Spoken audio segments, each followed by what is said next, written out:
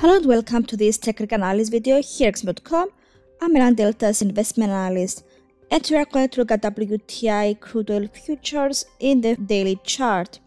Zooming into the chart now, the price is continuing the long-term buying interest reaching in the previous session's an 11-month high of 53.94.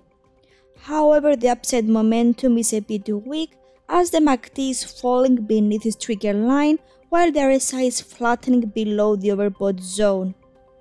If the market moves higher, the bullish action may pause initially near the 57.40 to 59.64 zone before attention shifts to the 65.61 resistance.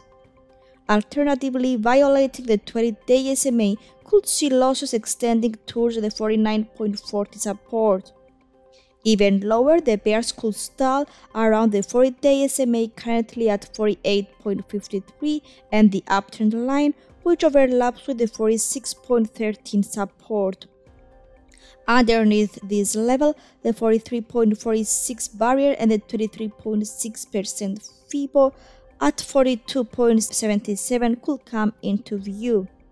In the long-term picture, WTI crude oil could continue its upside trend above 53.94 while a dive below the ascending trend line would bring a neutral to bearish outlook into play. So that's all from me. Thank you for watching. Have a great day.